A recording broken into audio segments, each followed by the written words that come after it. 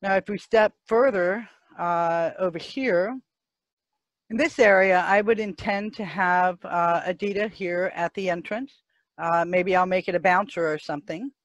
Uh, and this data would uh, provide the user with the knowledge necessary to cam to the dance ball, even though we've got, you can see all those flashing prims that are in the way.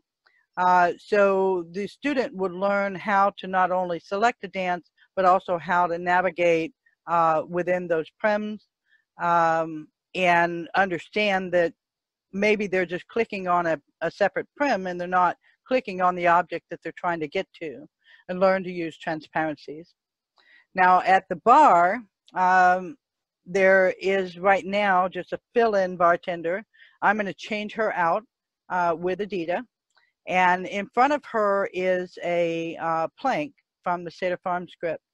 This actually will give you a HUD. And when you wear the HUD, it then keeps track of consumption over time of drinks and foods. Uh, and not all drinks and foods actually are nutritious, and that is built in to the process.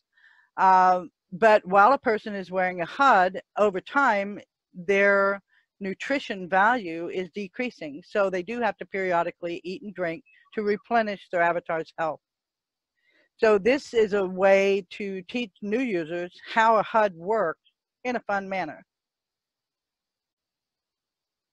And you feel free to get a HUD if you want. Uh, once you are wearing the HUD, you would click that again uh, to get a drink.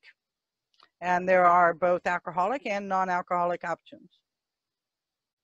I remember when I first started in virtual worlds and people talked about a HUD, I had no clue what a HUD was. It, it made no sense to me that they were telling, trying to tell me what the HUD was.